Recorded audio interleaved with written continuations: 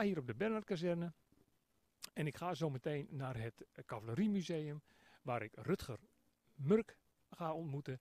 En hij gaat ons wat meer vertellen over de vrijwilligers die hier werken. Uh, ik ben Rutger Murk en ik geef rondleiding hier in het Cavaleriemuseum.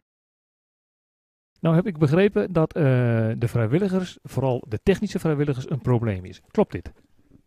Uh, uh, op dit moment is het nog niet helemaal een probleem, maar het is wel iets om in de gaten te houden. Rutger, kun je me vertellen waar we nu zijn?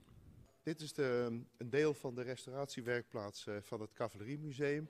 Hier zie je dan ook op dit moment een aantal ja, specifieke cavalerievoertuigen waaraan gewerkt wordt.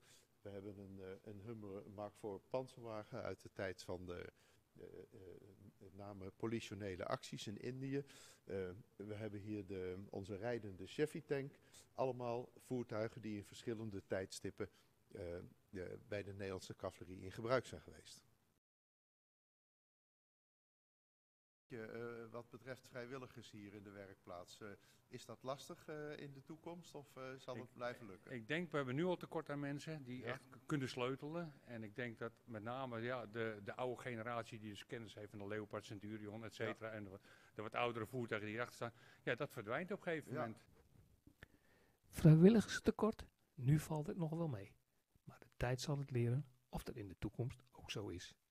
Dit was Marcel Terpstra vanuit het Cavaleriemuseum. Tot de volgende keer.